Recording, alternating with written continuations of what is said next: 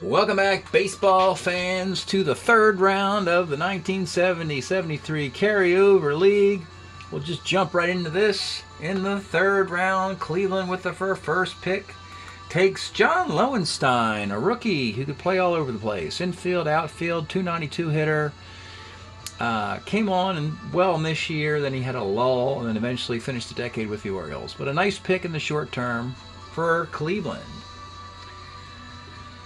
With the second pick, Colorado takes Rick Monday, 1970 card, 290, 844 OPS, lifetime Rocky, always is good once every four years, bounced around a lot to the A's, to the Cubs, to the Dodgers, makes him a good expansion player where he can play his whole career. All right, Toronto with the third pick in the draft takes uh, Mike Lum, Atlanta Brave, he actually had his best year in 1973 in the Blue Jays sign up for it. At age 27, Lum has 568 plate appearances, mostly known as a pinch hitter. 294 hitter, 813 OPS. One really great year. The year of the magical year of 1973 where there must have been something in the water in Atlanta when three of his teammates hit 40 home runs. All right, the Cubs. Their third round pick this is not flashy at all, but you just sign up for Randy Hundley, uh, 244 hitter, third round pick because of his throwing arm. A minus three arm catcher in the National League North should slow down the Reds, Pirates, and Cardinals, hopefully, for the Cubs to win. All right, with the fifth uh, pick, it is the Padres um, they take Mike Corkins, a nice little reliever who in 1972 has his best year with a uh, 354 ERA and 133 whip. And that's what the Padres needed. They just needed to get him in his best year. Um, they didn't have a lot in 72. They had tons of stuff in 73. But they needed to get a 72 year player, and that's who they got. The Texas Rangers. Oh boy, folks, you're going to be amazed with in the third round, the Texas Rangers, third round, Jeff Burroughs, 605 plate appearances, 30 homers, 279, 842 OPS. How do you get this guy in the third round? Well, because you got Frank Howard in the first round and Mike Epstein in the second round. And that's how you can justify BPA. Burrows is the third uh, guy. At least with a 73 card, he'll actually get a little bit better wins the MVP, I believe, in 74 or 75, one of those years. So, Texas, at least with the first three picks, looks like they're going to try and get back to the playoffs where they were a couple years ago, where they were the Cinderella story. And they came crashing to earth last year. All right, the seventh pick belongs to Atlanta, and finally we see the Phil Niekro card being turned in. Normally he's their first round pick. But when you have Rico Carty hitting 366 and Darrell Evans hitting 41 home runs, Phil Niekro is going to have to wait until the third round. Oh, yeah, it's his best year of the four with a 108 whip and 282 innings. Milwaukee, eighth pick. They take a slugger from 71. They take Don Mincher, 291, 389 on base, 437 slugging. Actually, he hit more homers than 70, but he brought his batting average up in uh, 71. Mincher's a nice little player. He's 33 years old. He's going to be near the end soon. Um, Mincher was one of those players the Oakland coveted to play first base, along with Mike Epstein. Texas wouldn't get rid of Epstein. Milwaukee wouldn't get rid of Mincher. So they had Oakland had to end up trading for Mike Hegan as their left-handed first baseman. All right, with the ninth pick in the round, uh, the Ohio players smartly pick up Rudy May, doubling down with lefty starters to go with Al Downing. Left handed pitchers, the South side is the key to this thing. If you get three good lefties on your team, you stand a good chance of being successful in this league. And Al Downing and Rudy May are very good. Al Downing 120, Rudy May 112, but Rudy May has a better whip, a buck 18. The 10th pick. It was Arizona uh, announcing Ken Tatum, who they acquired in the offseason from the Angels. Tatum was a dominant closer for California, but he kind of burned out by his mid 20s. At 26 years old, he still has a nice year in 70, but after that, he starts to fall off. But he had a nice little, short little period where he was dominant. And they also announced that Paul Popovich is coming back with in the eighth round. So Arizona, looking pretty good. They got six guys already, and they only have two more spots to fill in the roster, and then they can start to swapping guys out they don't like for better guys if they want. All right, the Expos. This is an interesting move. They took, they had the rights to um, Gary Wasilewski, but they decided to go with Tom Walker, a, a Expo, a 23 year old guy from their system who in 72 had a 289 ERA in 74 innings out of the bullpen. They figure that's a, a bump up on Gary Wasilewski. So they're looking to trade Wasilewski to some team looking for relief help. Tom Walker. The Cardinals with the 12th pick.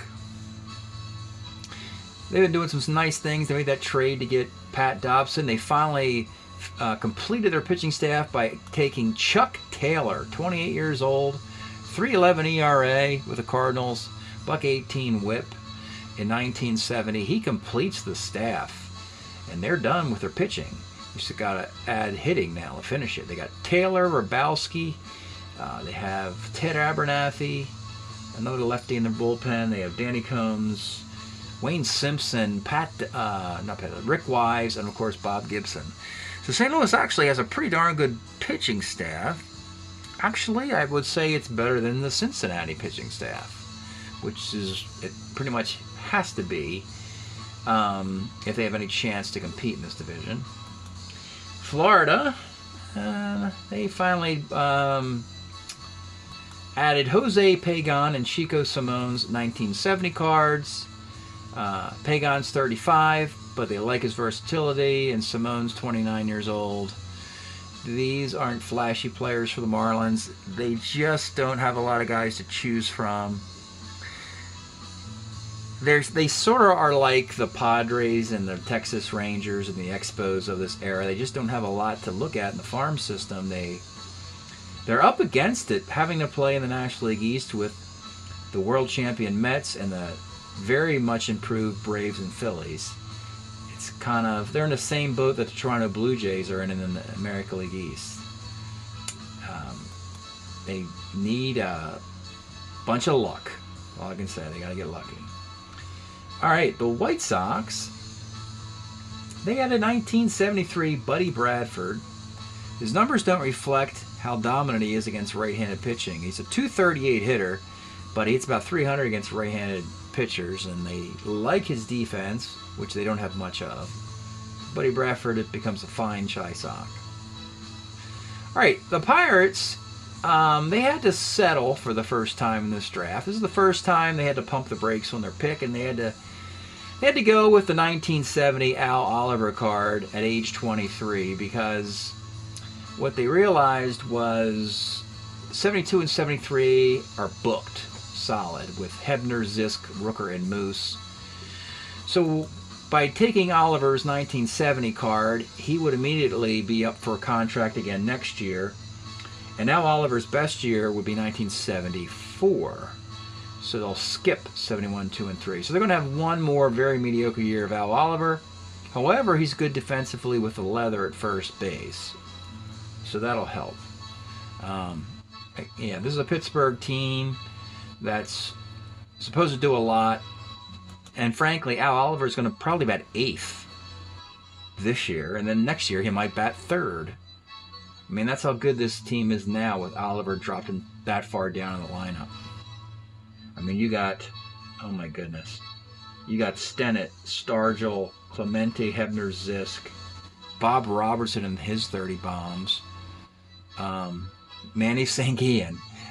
he only hit 330 also. Yeah, so Al Oliver is probably going to bat eighth or ninth, which is ridiculous. Anyway, Seattle takes uh, Ted Uhlaender, who actually led his club in hitting. I think he played for Cleveland in 71 because he has the, the top hitting card on the team, even though he hit 288. And Seattle, watch out. They are doing some smart stuff.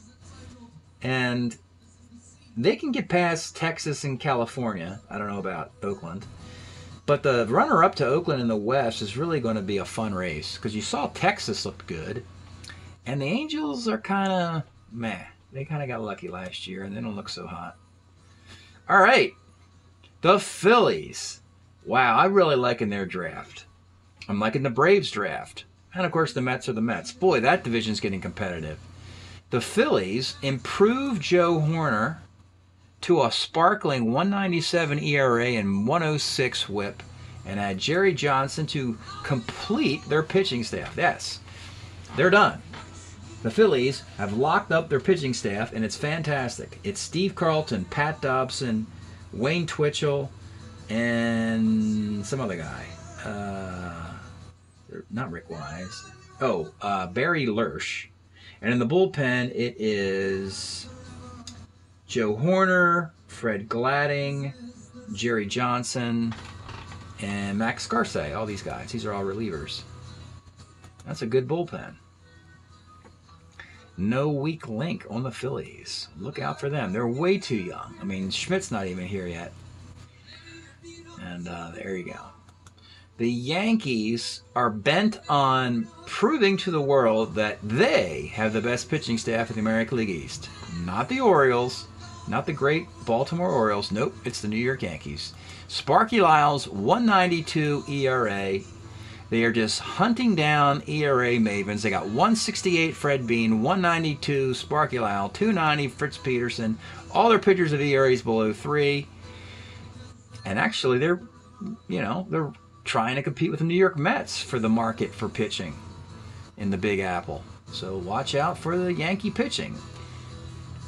And they got some nice bats. But clearly, Baltimore and Boston should be favored in the American League East.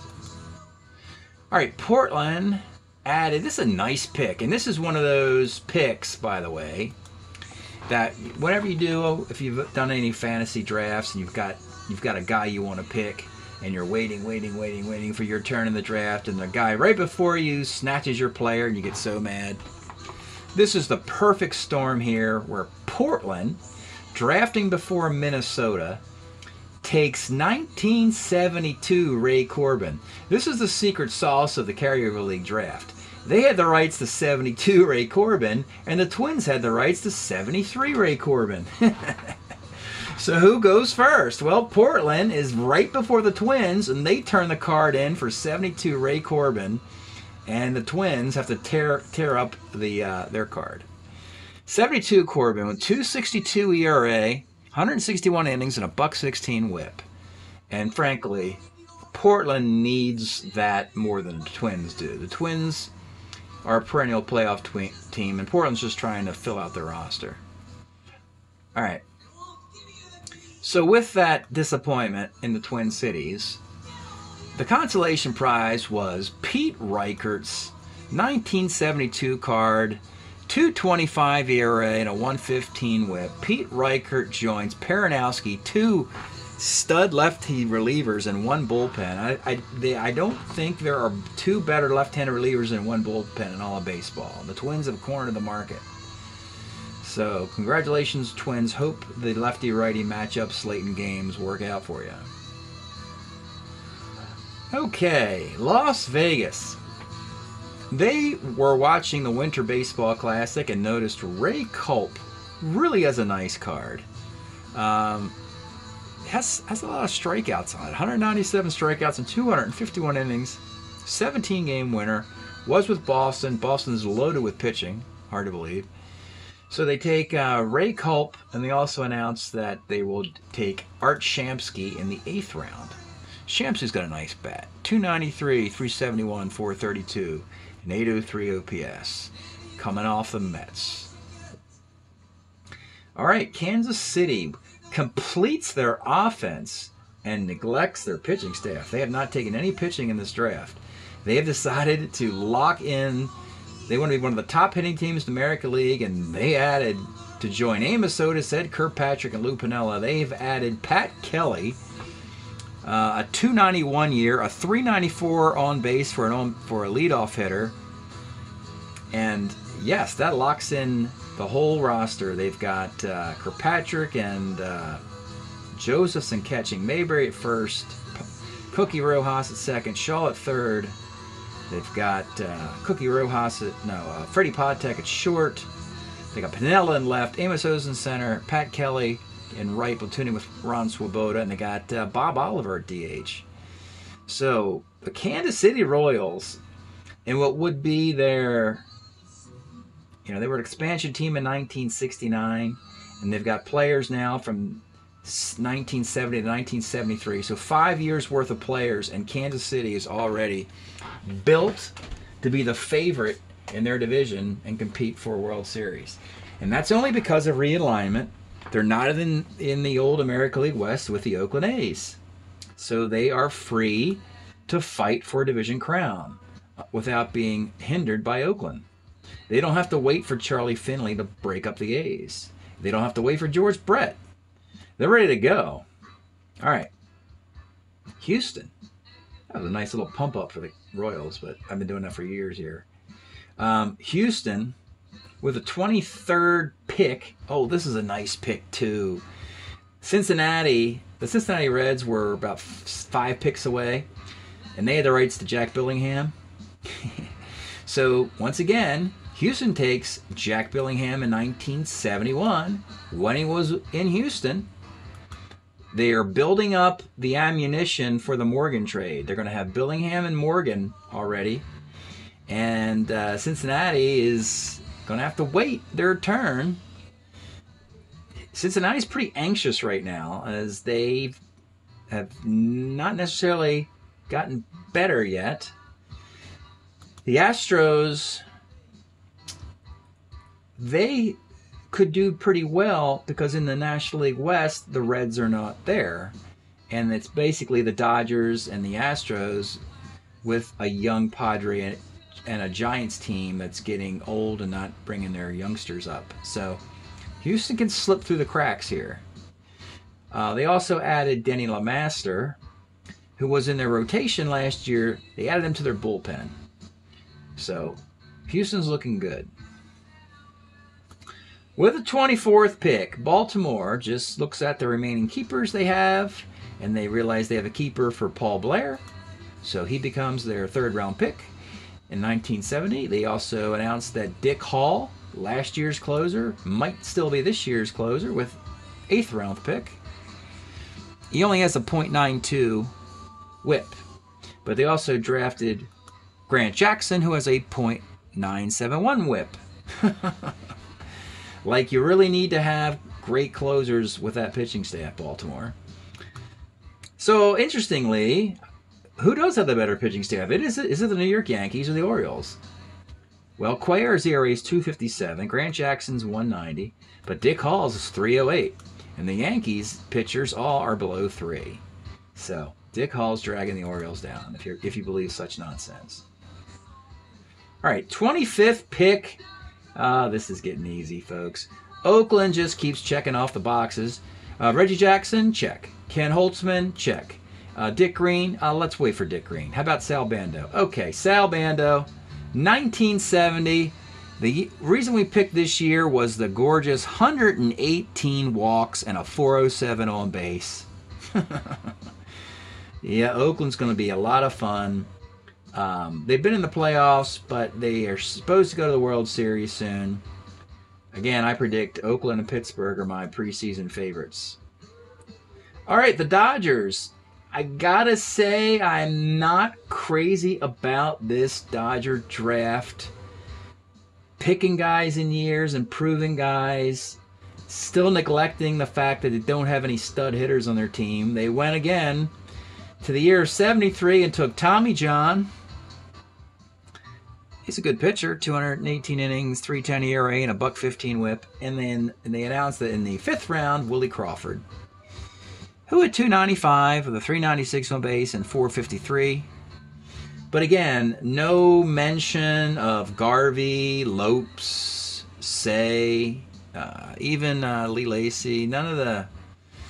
All those guys might come in all at once next year. They're going with an old offense and drafting all their pitchers here. It took six of them, and they because they improved. They have Messersmith, Sutton, John, Brewer, and Osteen in this draft. Five pitchers in this draft. Two of those are improvements, and have only dressed their offense one time. Oh well. The Angels. A fun pick. 1973 saw Bobby Valentine, and this has really happened. He was moved from the Dodgers to the California Angels. And the Angels said, We need a shortstop. And of course, he can't field, but he can play there. He's a 40 31. But Bobby Valentine, it's 302 in 1973 for the Angels. And we talked about the team needing sticks, and well, they sacrificed defense in this case just to get a stick in the lineup at shortstop. A 300 hitting shortstops are hard to come by during this era. So later in the draft, they need to find a defensive uh, uh, replacement. All right, the Cincinnati Reds, they're really getting nervous here. They're simply just going year by year. They went with 70 Rose, 71 May, and they're uh, getting 72 Wayne Granger. By the way, look at the ages 29, 28, 28. All these guys in the prime. Uh, Granger, they'll have him for three years. Does the same stuff he did in 69, really. Um, they have Clay Carroll in the bullpen, too. The bullpen's going to be fine. They didn't feel the need to bring up Pedro Borbon yet or um, Rawly Eastwick or any of those guys. They're, they're fine with Granger and Carroll for the time being. And they made some notes that in 73, they're thinking about adding Geronimo and improving the Concepcion card, which suddenly I'd get excited to get Concepcion's bat going. Since you don't have Joe Morgan yet, you probably need one more bat to keep scaring people. The Giants. Oh, finally, youth. So after going for William McCovey and Juan Marichal, they popped the can on the 1973 class and realized they had five great young players to decide between. Ed Goodson hitting 300, Gary Maddox, Gary Matthews, and also Steve Ontiveros and Gary Thomasson, all having great 1973s. I looked up the trades. Matthews played uh, for four years for the Giants and then became a free agent in 76. So that's what they're doing. Gary Maddox only played two years for the Giants, and then he was traded to the Phillies for Willie Montanez. So, for now, the Giants are going to leave Gary Maddox buried in their minor league system because they have Bobby Bonds in center field, and Ken Henderson can play center field. And they had Willie Mays playing center field last year until they traded him to the Mets. So they decided on a corner guy with power, Gary Matthews. Hope to have him on the Giants for three years. 300 hitter, 367 on base, 444, 812, and he can steal some bases. If you're wondering about Gary Maddox, he's a three in center field, and I don't, I, I can't picture him being that bad. He's got to be a one in center field. When, once he's a one, we'll get him into baseball. Boston, they needed a left-handed pitcher. My God, they have one. 1972, John Curtis. He only plays for the Red Sox a couple years before he gets traded. But he will join, he's a starter seven relief. He will go to the bullpen, joining Roger Moret as a starter seven relief, as Bill Lee goes into the rotation. Those are the three lefties on Boston. They are very good. And all their starters are starter eights. Bill Lee, Sonny Siebert, Louis Tiant, who's a starter nine, and uh, one other guy. Oh yeah, Marty Pattin. Um, no, no, Sonny Siebert, Bill Lee, Louis Tiant, and can't remember the other guy. Oh well. All right, Detroit. Uh, a terribly unsexy pick here. Uh, 1972, they didn't uh, was a year they won. Actually, it's funny they went to the playoffs that year, but apparently all the guys uh, for that team were added in other years and they decided to add Bill Slayback, who is decent. Um, he was available, and he's a Tiger at age 24, 320 ERA and a buck 22. It's not flashy. He completes their pitching staff, and they will probably in the other year of 72 improve Al Kaline to join those 30 year olds. And lastly, again, the New York Mets just checking off the boxes, ticking them off, and they take 1970 Jerry Grote. Yes, he has a minus three arm in 1970, and he hit 255. And at one point, I was considered taking the 271 Jerry Grote because he hits so lofty, 271, and I'm thinking, really? Is there really much difference in Grote hitting 255 and 271, or would you just rather have Jerry Grote with a minus three arm? Would you rather have Jerry Grote with a minus three arm hitting 200? I don't really care. Not to mention he's a B hit runner, so if he bats ninth and Bud Harrelson bats eighth, every time Bud Harrelson manages to get to first base, Grote will hit and run behind him. So that's the story. The Mets just completing the roster for a repeat opportunity. Hope you're enjoying the 1970-73 Carryover League draft results. We'll see you next time.